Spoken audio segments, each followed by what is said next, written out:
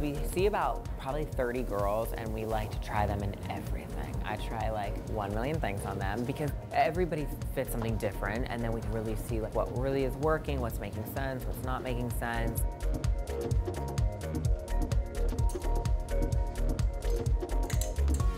You only see the look for 10 seconds. You have to have a great movement.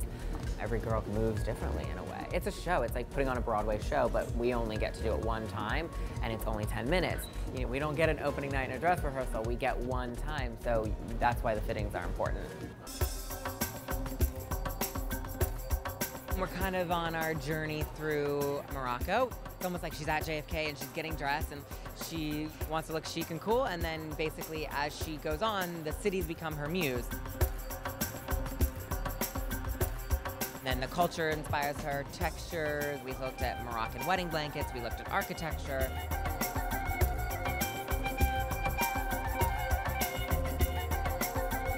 Different parts of the culture and from different cities, you know, Fez, Marrakesh, Casablanca, they're all very different. So we took elements from each place.